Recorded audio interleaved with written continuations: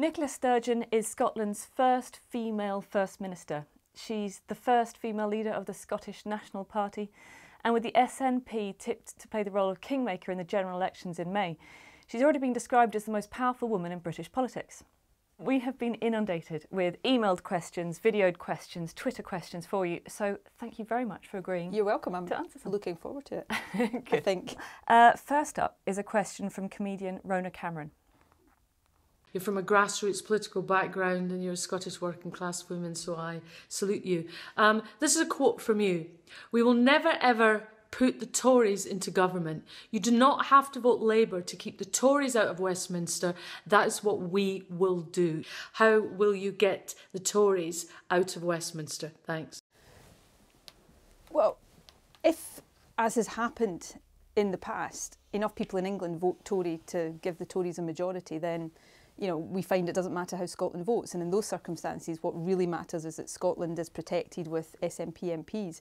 But in the context of, of a hung parliament where neither the Tories or Labour have an overall majority, what I have clearly said is that SNP MPs will never help David Cameron put a majority together, either through a formal coalition or any kind of informal arrangement. Okay, but at the same time, uh, much of the SNP campaign has been built on undermining Labour in so undermining Labour, you've also effectively dismantled the British left and any hope of an effective left wing government. People look at Labour and they don't see that it offers much of a progressive alternative. You know, just a few weeks ago, Labour joined the Tories in the voting lobbies in the Commons to vote for another £30 billion of austerity cuts. Now, the job of the SNP in Westminster, if people vote for us to mm. put us there in numbers, is firstly to stand up for Scottish interests and push the issues that matter to people in Scotland onto and up the Westminster agenda. As long as we're part of the Westminster system, as well as standing up for Scotland, mm. I would hope we could make common cause with parties like Plaid Cymru in Wales, mm. the Green Party in England. of an effective Labour government? And perhaps, well, you see, I, I think that might make a Labour government a more effective government and a government that actually delivers some of the policies that Labour supporters probably are crying out to hear a mm. Labour leader argue for. If the polls are right, we could have the third biggest party in the UK, a party that only Scottish people could vote for. But you know, if you turn it back, and I, I, hope we'd be, notwithstanding what we believe on in Scottish independence, if we're part of the Westminster system, I hope we'll try and play a constructive part in that. Mm. But remember, if, if you're in Scotland, for more than half of my lifetime, we've had to put up with Tory governments that we didn't vote for. Um, now we're going to get an SNP when well, we haven't. well, and, well, you know, but during the referendum campaign, politicians from Westminster came to Scotland repeatedly to say, Scotland, don't leave us because you're a valued part of the UK. And now, when we say, well, we want to make our voice heard in the UK, you get some Westminster politicians saying, that's not on. With that in mind, I have another question for you now with the Guardian's defence correspondent, Ewan MacAskill. I would like to ask if you will rule out uh, the possibility of another independence referendum uh, within the next five years. Um, I, I'm not ruling it in, and I'm I'm not going to rule it out either because you know one of the things about the referendum campaign and the wonderful experience that the referendum campaign was is that you know the Scottish people very firmly were in charge of the future of, of Scotland and. Mm. If there is to be another referendum, and if there is, what the outcome of that referendum is going to be will not be decided by me. That will be decided by majority Scottish public opinion. Mm. I can't impose a referendum on Scotland. So for there to be another referendum, you know, I, as leader of the SNP, would have to fight an election with that in our manifesto, a Scottish Parliament election with that in our manifesto, and enough Which people would year. have to vote mm.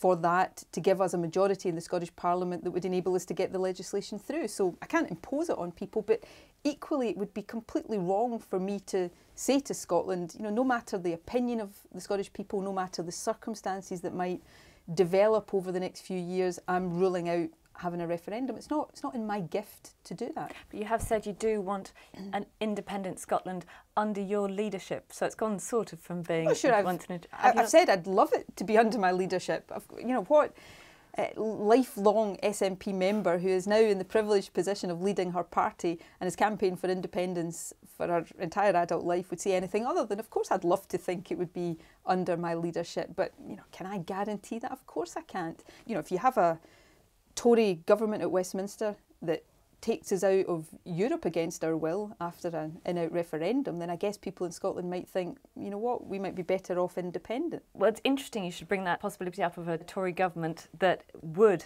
want to have a referendum on Europe. We have a question here who's been emailed in from Fraser Nelson, um, editor of The Spectator. I know Fraser. Yeah. Agree or disagree? There is no way you would go into a coalition with Miliband because the SNP needs Tories in government to pursue its real goal, independence. Uh, I disagree. Uh, not for the first time with uh, the wonderful Fraser Nelson.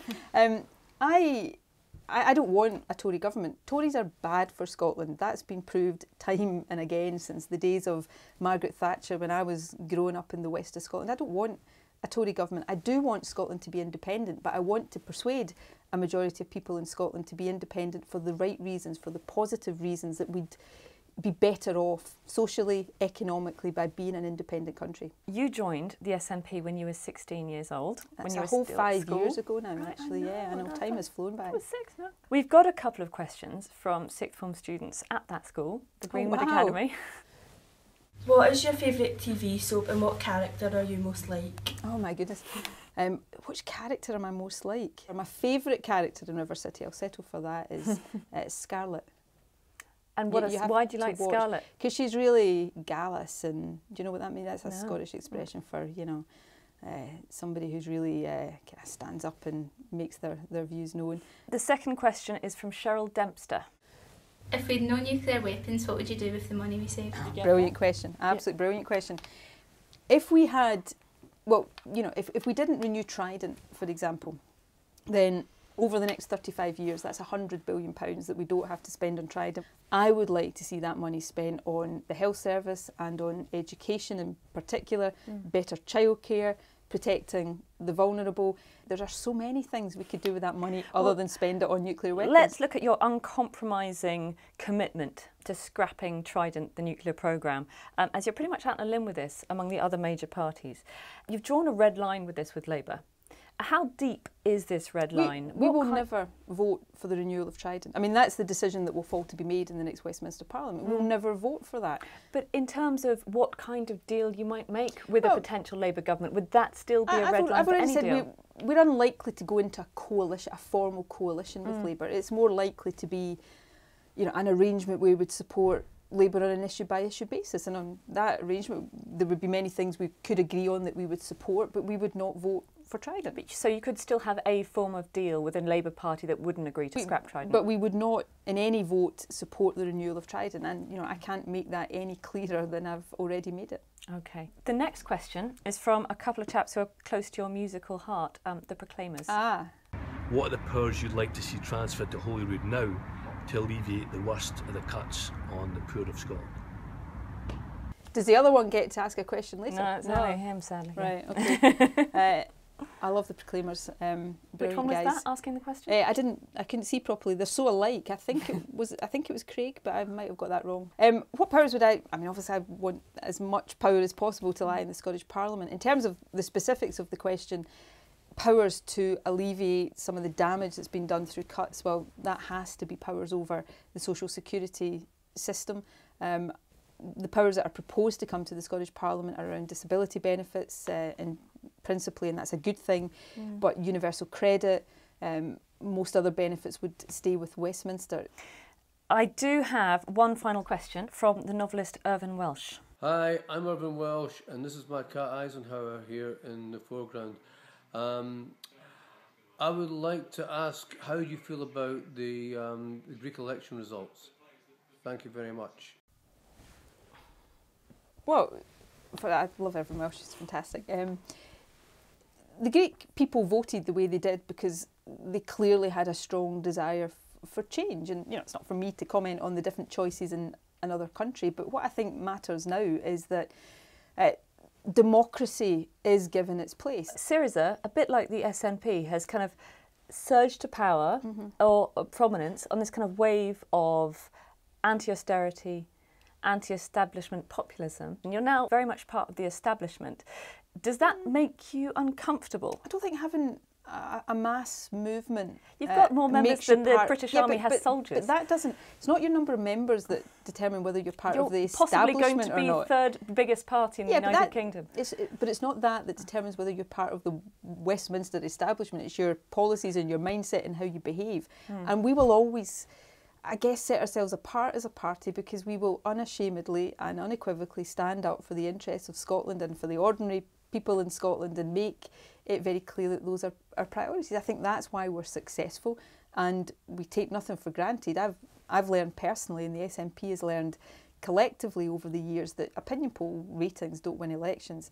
Hard work, having the best ideas, inspiring people, giving people a bit of hope and confidence and optimism, that's what wins elections. And I hope that's what will lead us to win lots of votes and hopefully lots of seats in the general election. Uh, just a really quick quick fire round.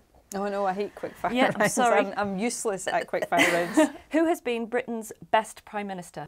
Before my time, but in terms Harold Wilson, maybe. I, yeah. Why? I, I don't. I, I. It's before my time, so I. I kind of base this on what I read and what Mhm. I've. But you know, I think in terms of what he tried to do and how he how he governed, uh, possibly um, Okay. Uh, what's the household chore you're best at? ironing. I iron my husband's shirts, and it's possibly the only domestic thing I, I really do. What was your first paid job? I worked in a petrol station. Oh no, actually, my first Saturday job was in a local radio station. My uncle did the uh, Saturday afternoon sports phone in, and I answered the phones um, for that. Uh, and then I worked in a, a local petrol station. How much cash have you got on you at the moment? Um, my bag is in another room. Uh, I don't know, actually, probably about a tenner or something. Night out or night in? Night in, definitely, all the time. King Charles or King William? Um, oh, that's that's very difficult. Um, King, did you say a prince? Who would you rather have on the throne? Well, I think you know King uh, Prince Charles is next in line for the throne, so I think I'll stick with that. Okay. Nicola Sturgeon, thank you very Thank much you very indeed. much. We've got an economy that isn't delivering for the common good. We've got a social crisis where one in five workers is on less than a living wage, where so many people are struggling to keep food on the table, keep a roof over their head. And yet we are currently in Britain collectively using the resources of three planets every year, but we've only got one planet.